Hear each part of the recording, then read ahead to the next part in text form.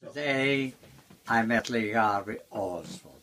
I was assigned by the uh, supervisor of the port department. We were assigned uh, to go to beat the ships. Came in the morning, but it was detained for some time.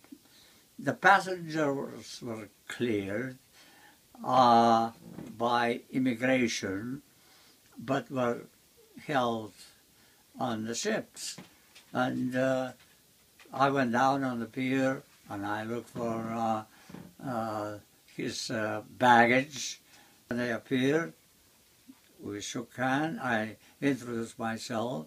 I represented the Travelers Aid Agency as a social worker from uh, Travelers Aid Society. And then uh, we started a casual conversation.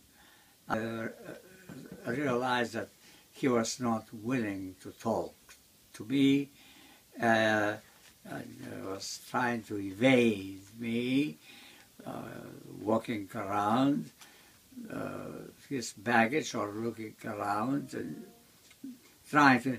So I realized that he did not uh, want to go in much of a conversation with me.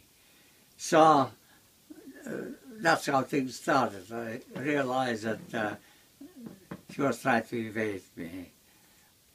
I was thinking myself that uh, no official uh, of the government appeared during my uh, contact with him, and I was wondering uh, and, uh, why.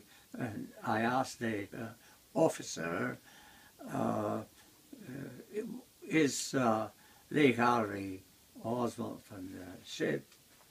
And he, the officer, kind of was surprised, looked at me and said, "Why you are interested in this man?" Well, I said, well, this is our job. I was going to ask him, what was the situation in Russia? Why did it go in Russia? Why do I why do uh, now uh, running out, not running, but uh, coming out of Russia? These were the questions I wanted to ask him. But these are hot questions at that time. And I decided not to get involved in